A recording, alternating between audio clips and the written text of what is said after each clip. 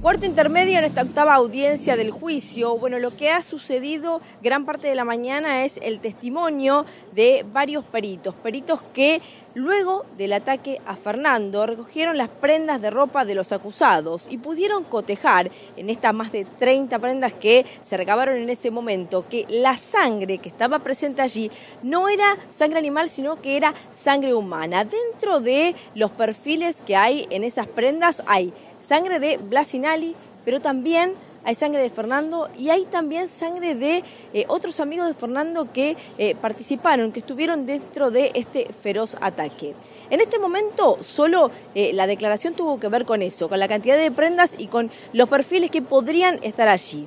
Luego, seguramente en horas de la tarde o en las primeras horas de mañana,